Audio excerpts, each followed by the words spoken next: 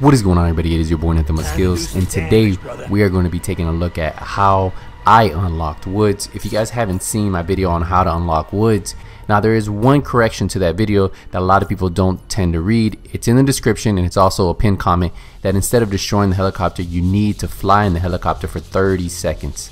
So in this video what I'm going to do is I'm going to show you guys how I unlocked them and some tips and tricks and we'll do a game breakdown of my full unlock of this in this video. So the first thing you guys need to do is mark where the campsite is. It's just south of Estates and it's just east of the construction site. So it's a little green path. If you zoom in enough, you'll see some little blue icons and that's where you want to mark it. But this is exactly where you want to mark where you want to drop in right here. Just south of Estates and just east of construction. So once you get out of the waiting area, you already have it marked and you know what you need to do. So my flight path was actually the flight path you wish you can get every time if you're trying to get this. You want to jump out right away. Um, so we're going to skydive all the way down. I was going to around 69, 70 and then I pulled up a little bit and I could see the blue tarps and that's where I'm going to want to drop in right here. I can already see the helicopter, right? So when you see the helicopter, that's a good sign. That means that the bandana has a chance of spawning and it's going to be at these crates right in front of it. What you want to do is just grab that bandana and get on the helicopter as fast as possible and hopefully they don't shoot you out of the helicopter when you grab it. As soon as you get it, and I would take off and go as far as possible as you can away from your flight path. So if you know your flight path was on one side of the map, head to the opposite side of the map and stay as low as possible because a lot of times people get those RPGs and you just want to keep heading as far as possible. So I know the farthest possible way where I don't think anybody would have went is Turbine because our flight path was near construction site. So I'm going to take this plane to the opposite side of the map and that way I can get not only the time I need to be in the air, I needed 30 seconds in the air, and then I also need to win the match, so I need to make sure I have some really good guns. So since there's probably not anybody looting over here, I'm going to drop at these buildings right here.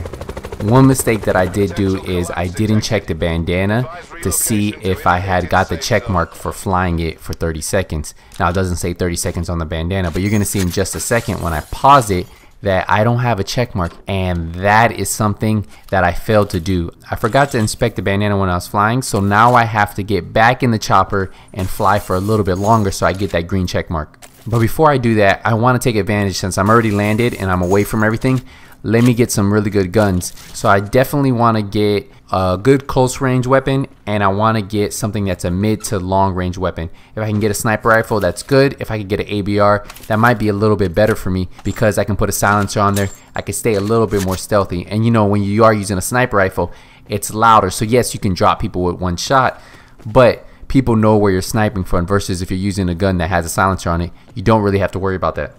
So I went into the main building. I was able to find the ABR. So I'm going to drop the Rampart. I'm going to pick up the ABR. So that's going to be my medium to long range weapon. Also, another tip, if you do find a crate like this in front of me, a lot of times these guns have fully modded guns. And what you want to do is take the gun out of there, drop all the attachments, and then put it on the weapon you want. So since I want to keep this ABR, I'm going to put an attachment, a four times scope, grab the grip, the extended barrel, all those good stuff I'm going to take and then I'm going to put everything I really want on the ABR because that's going to be my primary weapon to stay alive. And right now I actually feel really good about my chances of winning because I have one of my favorite weapons, the ABR. I have a close range weapon with the Vapor. I'm actually really comfortable with these two weapons. The only thing I would love to find is a silencer. If I could find a silencer for this ABR, I would say my chances of winning are going to go up from 70% to about 80% just because I'm that comfortable with an ABR with a silencer on it. So I do have level 3 armor, I have an ABR, and I have a Vapor. Now I really just want a silencer. But what we're going to do right now is head back to the chopper and get the remaining time we actually need left for this flight time. I know it has to be super short. Somebody locks onto me as soon as I get in the chopper, so I was only able to fly a little bit.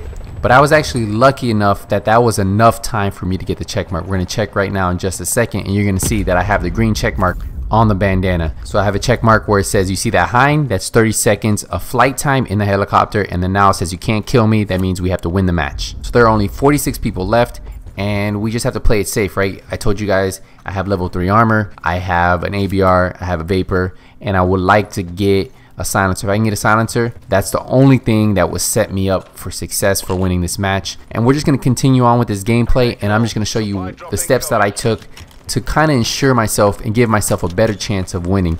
So what I would recommend for anybody trying to get woods is play a little bit more safe than you would if you were just playing to win. I'm a really aggressive player, but I know that for certain character unlocks, I need to play a little bit more safe because a lot of times I take a lot of risk because I'd rather get those high kill games than guarantee those wins. Now, if you look here, I'm right on the edge of the circle, and since I know I'm on the edge of the circle, I'm going to take my time, loot the area, just make sure there's no players coming, and look for more heals. Hopefully they can get that silencer, and just keep looting every single building as the circle starts to close in and the timer starts to get less, I'll push in little by little. But I'm always going to try to hug the outside of the circle. The circle is closing in on us. I'm going to keep looting a little bit. I finally found a silencer for my ABR and that's perfect. That is actually what I really want because that way I can hit those medium to long range shots and people won't know where the bullets are going. And if I can land my shots, I can drop the player before he even has a chance. So the circle's closing in and like I told you, I'm going to take my time. I'm going to push in little by little, keep looting the area, looting as many heals as I can. And if I can get a perk like Dead Silence, which will help me in the final circle where I can pop it, run around, people won't hear where I'm coming from, that might be beneficial too. But if you don't get them, don't worry about it. So this is actually one thing I wouldn't recommend you guys doing. Um, I end up grabbing a truck here. And the reason why I tell you guys not to do this is because ATVs, trucks, helicopters, they all make noise. And if somebody has a rocket launcher, they lock onto you. That's an easy kill. If you guys watch my last RPGs Gone Wild, same thing. Look at that. Someone locked onto me. I had to jump off, and now I'm looking for him. I have no idea where this guy is at. And this is where I could be at a disadvantage. So I pop this dead silence when I don't even really want to pop it, but I had to waste it. There's a guy right there. So that's the guy right there. He's on his ATV. I'm to try to get a couple shots on him. Stay around this. He's, it looks like he's trying to run me over. Now I'm just to run behind him and I'm to head to these buildings. I'm to stop wasting my time because there's 34 seconds. He's making a lot of noise. I can get sniped because I'm on foot. I just want to hit these buildings and then keep moving. Don't worry about them. So that's something I would tell you guys not to do. Don't get in vehicles to get from point A to point B. So we're pushing to the final circle and we haven't even had to kill one person. If you look, we have zero kills. There's 16 people left. So that's 15 other people I have to kill or people have to kill. And look how small the circle is. And it's closing in. And I made some really good moves. I stayed on the outside and I let a lot of people die. So now I have a better chance of winning, right? People are still dropping. Now we only have 14 other players and then 15 including myself. And I'm just going to hug this circle right here. And I know it's about to go down. Like I know there's going to be players around here. I know I'm going to have to start getting kills. So I just got to be careful, look around, just keep looking. I'm going to see a guy right in front of me. This is what I was telling you guys about the ABR. I had a silencer on it. I can drop somebody before they even see me. Now look, I just saw another player right there. His gun is poking through the window and I have a grenade. I'm to take advantage of the grenade. I'm to throw it right on that window right there. It's to blow up. He took a lot of damage from that initial grenade. He died. And you can see, same thing. Be tactical. You, you might only get like five kills might get four kills, but as long as you guys get the win, you guys get the unlock. So there's only nine more guys left. That's eight guys plus me, and I get the win, right? So we're gonna grab his trauma kits.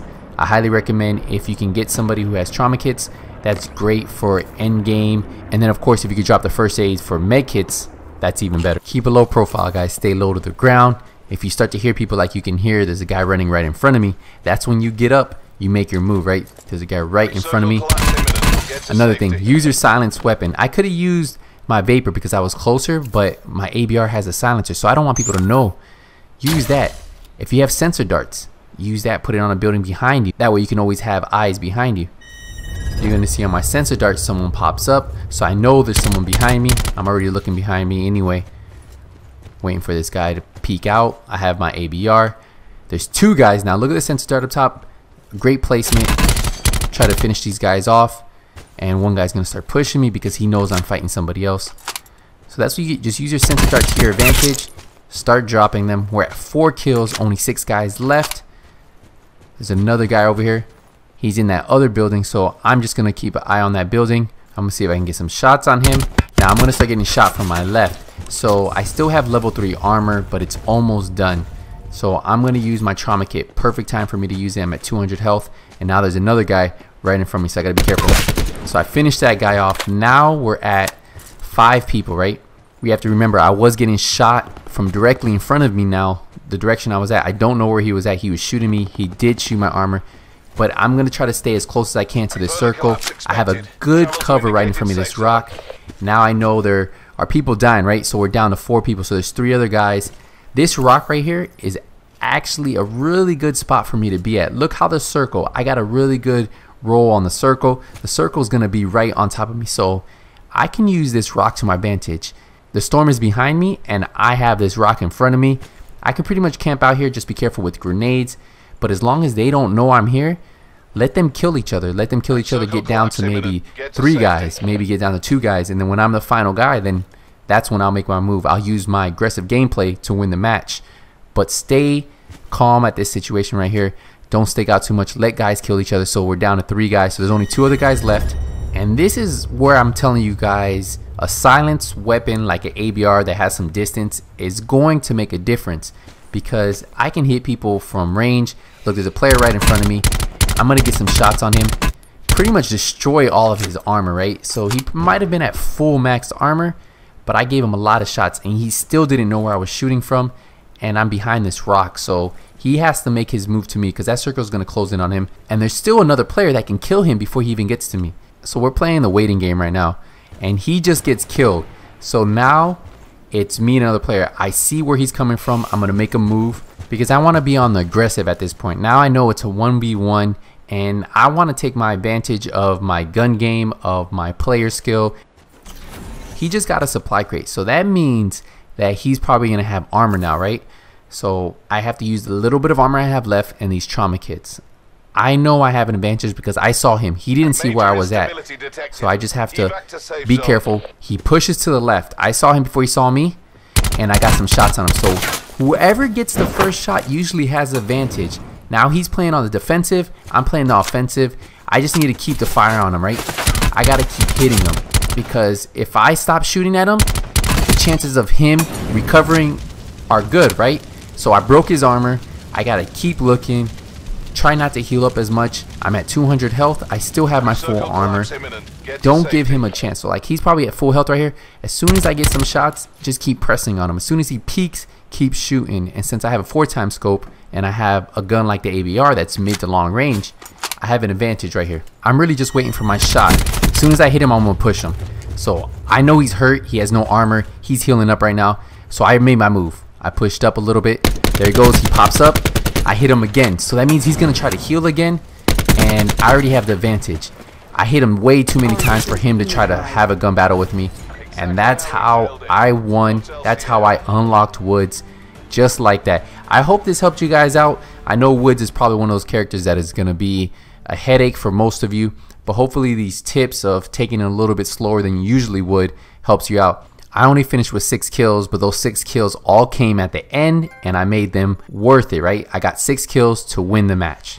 Now, once you do win the match, you'll get the notification right after the merit report. You click continue and it's going to say character unlocked Woods. You know me. I don't like anyone. And then after that, you just need to go select him.